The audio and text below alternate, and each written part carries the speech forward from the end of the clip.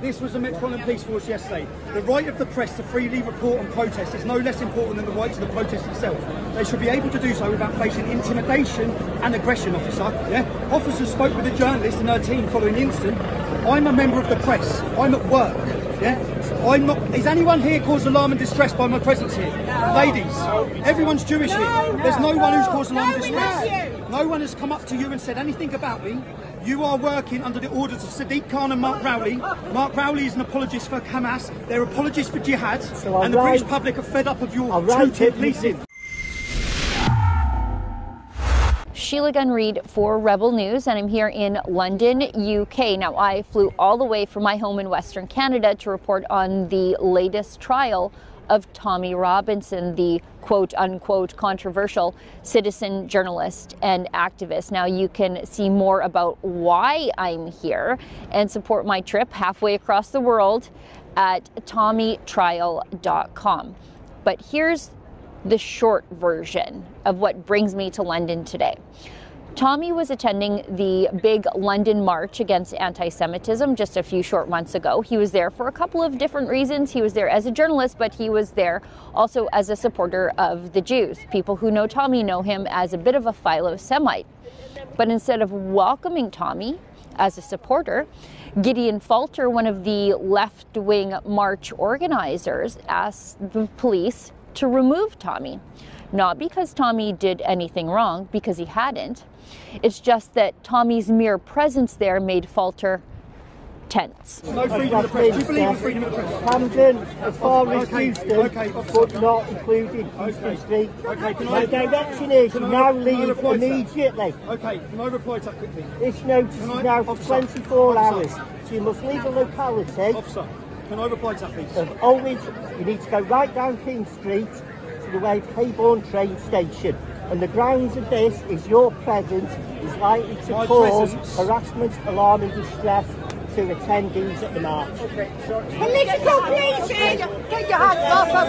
Get your hands off him! Even crazier, though, the police obliged Falter. They grabbed Tommy, they handcuffed him, and then get this they pepper sprayed him in the face. Again, not because Tommy had done anything wrong, not because he was violent, but simply because he made some cry bully from the left anxious. Now, police have banned Tommy from even setting foot in London to this very day. To meet with Tommy, I have to go outside of London. So Tommy is challenging that outrageous arrest.